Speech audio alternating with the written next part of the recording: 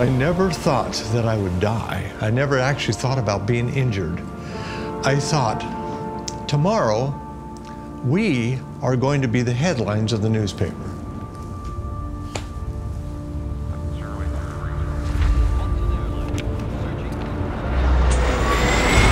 I was convinced at age 14 that I wanted to become a commercial airline pilot. I don't know, there was something about power and control and adventure, travel. And once I took my first flight as a pilot, I, I was hooked. When I looked down and saw the world from the air, I had this feeling of freedom. And I thought, gosh, I can take this airplane someday and fly anywhere I want to go. I felt like I belonged in the air. This is where I'm going to spend my entire vocational life. And I did. As a flight instructor, airline pilot instructor, standards captain, aviation safety counselor, FAA designated examiner in jet aircraft, I would give check rides and airline transport pilot certificate exams. I just enjoyed it. I just loved it. At age 19, got a volunteer part-time job as a co-pilot and was able to fly with this guy named Chuck. It was uh, July 18th, 1969. I got on the freeway and drove to the Hollywood Burbank Airport. It was a perfectly clear morning. I got to the Piper Navajo, a twin engine, 10 seat aircraft, and was looking forward to just another typical beautiful day of flying. Chuck and Jean, the relative of the chief pilot, got to the airplane, and Chuck said, Okay, Dale, now Jean is going to be flying left seat today. That's the first time that had happened. And then I would be riding in the right seat as co-pilot. We did another engine run up. There was nothing wrong with the airplane. Started up, started taxiing out. Chuck noticed that there was uh, something not exactly right. Chuck tapped me on the shoulder, I shall never forget it, and he motioned for me to uh, uh, change positions with him. So I got out of the co-pilot seat, he got in, I strapped myself down into the temporary third seat. Gene in the left seat is flying, but Chuck in the right seat is in control. We were then cleared for takeoff. Everything's normal. The airplane begins to bounce. That's normal. And we actually rotate and lift off the ground and start to climb. We were about 100 feet above the runway, and yet we weren't climbing. So the, the nose of the aircraft is pitched up, but we're not going up. And the engines are straining at full power. And then for some strange reason, I began to hear this unfamiliar uh, whine of the engines that they were out of sync. Well, with that huge, uh, loud sound of the engines being in disharmony, now my worst fears uh, became realized when Chuck, the guy in command in the right seat, points with his left hand and said, let's land in that clear area over there.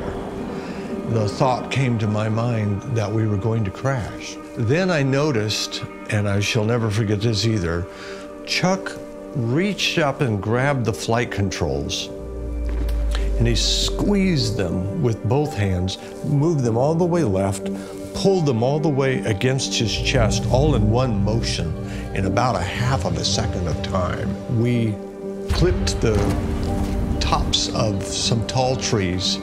It turned the airplane to the left and that forced our direction to slam into this very solid uh, concrete and tile dome. It's called the Portal of the Folded Wings. It's ironically erected in memory of deceased pilots. It's seven stories tall, and we impacted it five feet from the top. The official impact speed was recorded by the NTSB at 135 miles per hour. It was considered non-survivable. The airplane just broke into literally a couple thousand pieces, and then three pilots fell to 70 feet to the ground. And the next thing that happened is I'm looking down at the three bodies, and I'm wondering why I'm here, why I'm seeing this. I'm looking down at this airplane crash and not knowing that I was in an airplane crash. I'm looking down at three bodies and I look at the first person who's dead. I look at the second person, it's Chuck, but I don't recognize that it's Chuck. I, I look at the third person and it's me, and I do recognize, oh my gosh, that's me.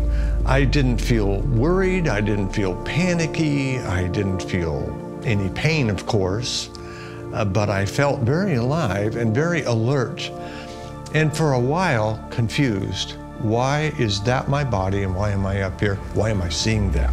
I thought, gosh, I had died so young. I follow my body to the hospital. I'm above my body in the emergency room. I start moving out of the hospital past Burbank. It didn't take long and I start realizing I'm being accompanied by two angelic beings behind me. There was a light that was far ahead. Now, this light was so bright that it would be brighter than the sun. The source of it is God. It's coming from God, and everybody knows it. I knew that I was in eternity. There's no sickness in heaven. There's no death in heaven. There's only light and life and love. And uh, talk about heaven. Just get me talking about the love of heaven.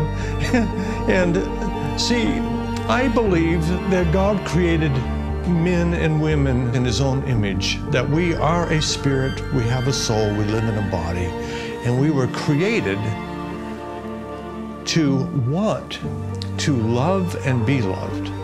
But I believe that if we were really honest with ourselves, that we would find that we were also created to give love as well as to receive it. And the interesting thing is, is as you give anything, whatever you give, you get right back. it's just a, the, one of the principles of God. If you give something, you get that something back. I knew that I belonged. And then all of a sudden, I was brought back to life. There I am, my back is broken in multiple places. There was debris that had been pulled out of my body. I was a disaster. You know, I have a, a, scientific mind. I'm trained as an engineer. My background uh, with my parents and grandparents, we all had a logical background, so things had to be quantified and, and uh, they had to be solid and, and provable. Uh, and none of this is that way. Yet, uh, my whole life is different. My whole life has been changed because of this experience. I recognize that life is really short and it's unpredictable. The most important thing that I've ever come to determine is where will we go when we die. And Jesus said, If you believe in me, you shall have eternal life.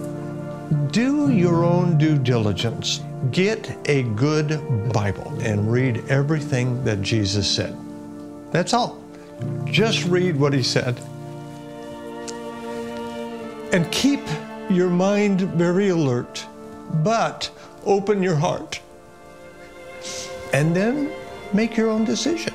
It's, it's your life, it's your eternal life, so do with it whatever you want to do. But uh, don't just believe someone else because they said something. Don't believe some preacher because he's preached, and certainly don't believe me. But do believe what you read from the Word of God.